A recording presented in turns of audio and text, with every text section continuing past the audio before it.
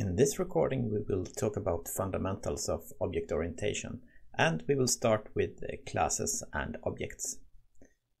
My name is Tobias Olsson and this work is licensed under the Creative Commons Attribution Share Alike. We need to uh, try to define what objects and classes really are. We have seen a lot of representations of objects and classes. For example, in the sequence diagram we talk about objects, in the class diagram, we of course talk about classes and in the code we often see this uh, class uh, concept also. But what really are objects and classes? That's the goal for the next part of this video. While it is quite easy to become almost a little bit philosophical when talking about objects and classes, we will try to keep it at a pragmatic and uh, quite close to the code. Uh, so let's start with the class. A class is simply a template that we can create the objects from. The class defines what attributes should exist in each object and what operations should exist in each object. So basically this becomes the definition of the objects that we can later create. As the classes also contain the implementation, it defines the possible behaviors of the objects and also relations to other objects that the objects then can have. The class is like a template from this template, you create objects. And by knowing the template, you basically know the structure uh, of the objects you later create. Classes generally do not exist at runtime. They exist when we model and code, but when we run the system, objects are created and they execute the actual behavior of the system when it's running. Uh, this is not entirely true because we can have reflection and metaprogramming and such, but this is not part of this course really. Basically, classes are what we code. So when you code, when you implement, you define the class, you define the attributes, and you define the operations and the behavior in these operations. And you define possible relations between the objects in the class also. In this case, the dice game can have a relation to two dices. So when we create the dice game object, we have the possibility to have a relation between this object and two dice objects. And this is also what happens in the constructor of the dice game. From a class, we can then create objects when the program executes. When we create an object, we assign concrete values to all of the attributes defined in the class. So the object becomes a unique instance that is identified in some way. This means that comparison using the double equal sign generally compares the identifiers and this is an important distinction that you need to know about.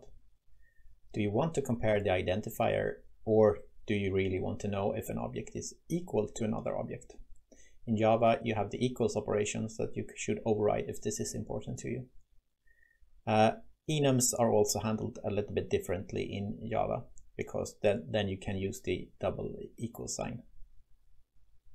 To represent an object that do not exist, you can use the null pointer. But sometimes it's good to create an object with the purpose of being a null object, so to say. Uh, in, in certain circumstances, you can avoid some uh, problems and possibly get some better performance also by using a null object. Another important thing to think about when you think about objects is if you should share objects between each other or if an object requires a true copy of another object. Basically, object sharing is the norm. So if two uh, objects has a relationship to another object, usually they share this object. And this is basically one of the advantages of object orientation that we can share objects between uh, other objects and changes to this object becomes immediately available. You don't need to update a copy of the object all over uh, the system. Sometimes this is not uh, the wanted behavior and there can be a strict need to enforce ownership of an object. Uh, for example, in some languages you have uh, issues with the memory management so you don't uh, have a garbage collector as present in Java but you manage the memory uh, yourself, then it's really important to know which object actually is responsible for creating and destroying objects so that you don't get memory leaks. So in that case, there is a strict need to enforce the ownership of the objects. there could also be uh, cases where you don't want this state changes to be available all over the system. In that case, you need to do a copy of the object instead and uh, make the state changes locally, so to speak, and then maybe destroy this object later on. So it can be important to know if you want to share the object or if you want to uh, create copies. And just using the equals operator means that you are not copying the object, but you are actually just sharing this uh, object. So let's look at an uh, example. So we have uh, two objects here, the uh, object uh, S1 and the object S2. Uh, they are strings and the first string is a new object with the name Alan Turing in it and the second object is also a string with Alan Turing in it. So uh, will S1 and S2 be equal in this case using the double equal signs operator? As you probably guessed, since we are comparing object identifiers here, the answer will be no. So because this S1 is a unique object and S2 is a unique object. In this case, they happen to contain the same text uh, so this operation, on the other hand, equals should return yes. In the second case, we have a little bit of a special case for Java. So when you create strings in this way, the compiler actually creates this object and both S3 and S4 will point to the same object. So in this case, the comparison using the double equal signs operator will return yes because S3 and S4 point to the same object. And of course also this equals will return true.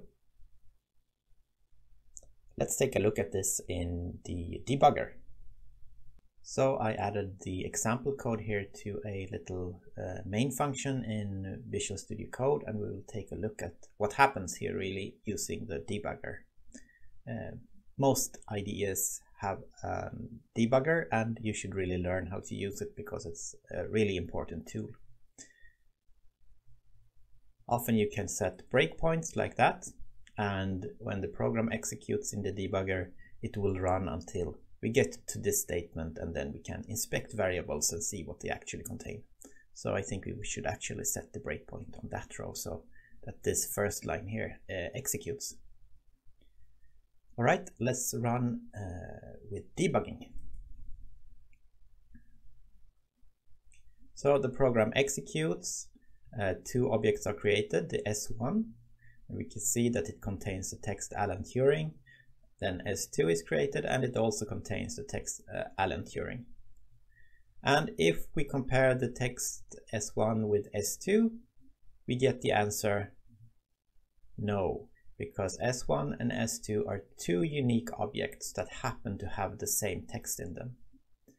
So the comparison here returns false uh, using the double equal signs operator. As the texts are the same in the two objects, the equals operation should however return true and the answer should then be yes. So let's step and see that this happens.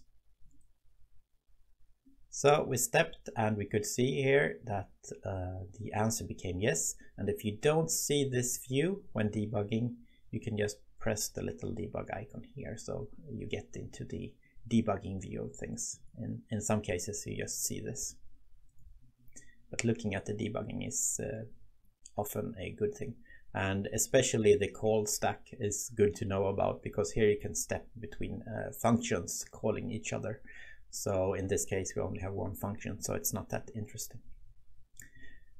So uh, let's continue. Let's assign uh, the variables s1 and s2 into two new objects then. Uh, like that. And we can see that the text has changed in S1 and it's uh, Margaret Hamilton again. And in S2 it's also Margaret Hamilton. And this time the objects are actually the same object so S1 and S2 references the same object because this is magically created by the Java uh, language runtime and compiler. So in this case, the answer should be yes.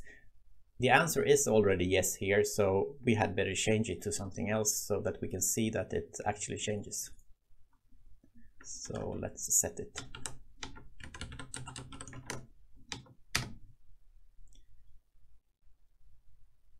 And let's step.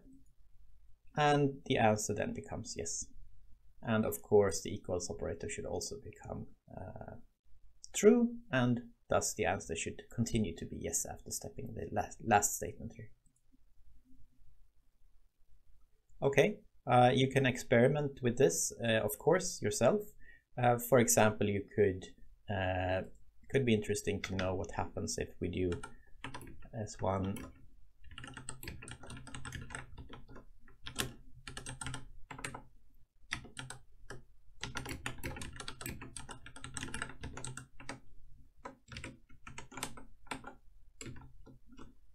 what will happen in this case.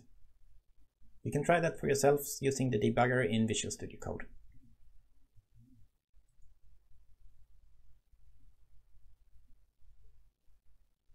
I now hope that you have a better understanding about what objects and classes actually are, and I hope to see you soon again. Bye for now.